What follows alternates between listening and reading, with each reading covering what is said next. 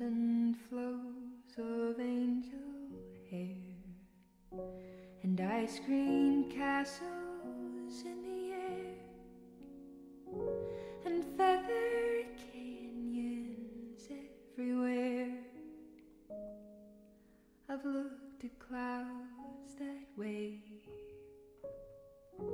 but now they only block the sun. They rain and snow on everyone.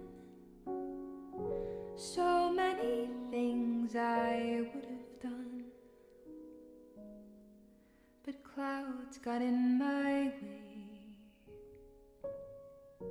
I've looked at clouds from both sides now, from up and down, and still somehow